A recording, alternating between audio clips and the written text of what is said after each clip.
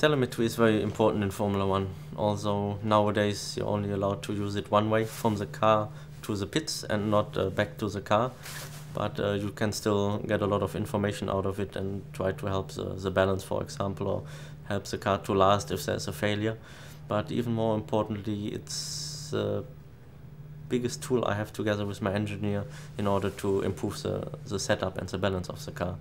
Uh, as a driver, I feel what the car is doing but then I can check on the data what exactly uh, happens, why I get this and that behavior, and then we try to, to search within the couple of hundred uh, measurements we have. Uh, yeah, we try to understand and then rectify the problem. Uh, telemetry is a very important uh, point in Formula One. It's uh, it's high technology telemetry, so in the end, the engineers who are sitting in the garage they can see everything what i'm doing in the car.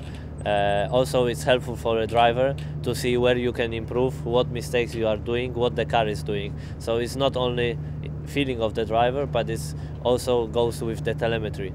So mainly it happens like this that when you stop uh, you explain to the engineers what the car does but then uh, we, we go to see it in the telemetry to really see what's, what it uh, can be the problem what it does where it comes from and stuff like this. So uh, in the end, telemetry is, is very important and you can learn a lot and it can give you really a lot of information. Of course, if you can read it properly and if you can use, use it properly.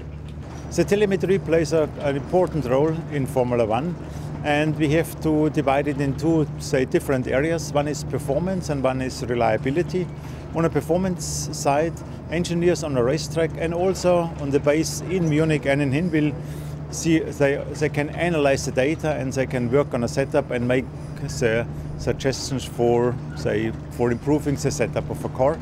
Second factor is reliability. With the telemetry we are in a position that we see already critical areas. Let's say there's overheating of one component. We see it already when the car is running. That means we can stop the, the car on a track or guide it uh, safely sa safely back into the pit uh, before we see any major problem on the car itself.